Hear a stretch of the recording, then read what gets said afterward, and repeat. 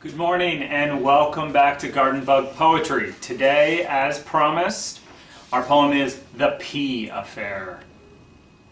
It was simple and beautiful. Really, I had no need for peas as they needed access to them to stir up frenzy in the kitchen.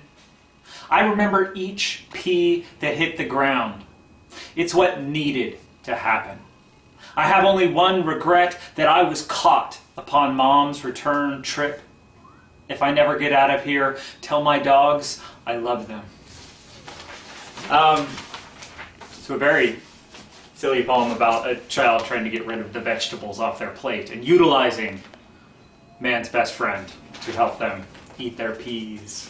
Um, so the lesson today, uh, life and art are unexpected.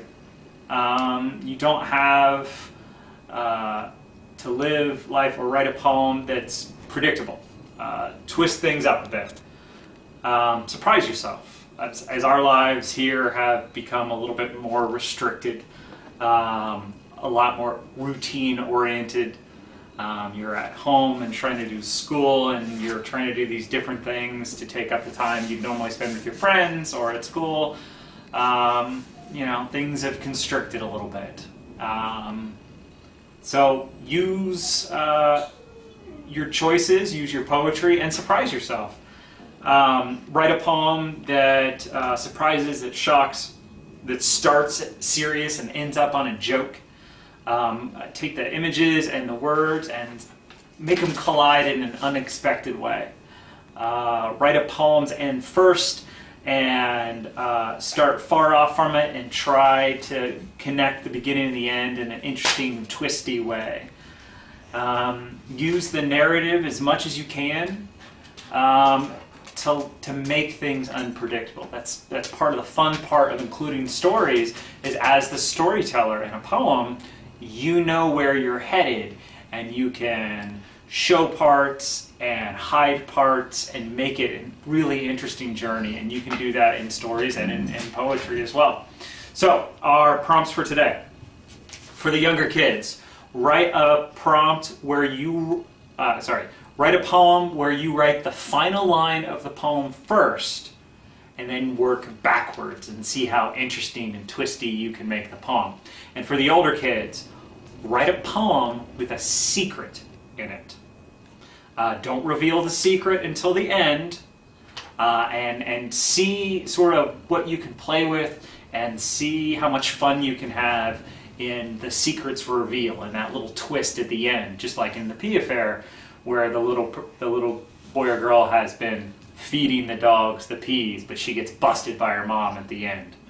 Uh, so she she thanks them for their service of eating the vegetables. Um, so yeah, Younger kids, write a poem where you write the final line first. Older kids, write a poem with a secret in it, and don't reveal the secret until the very end.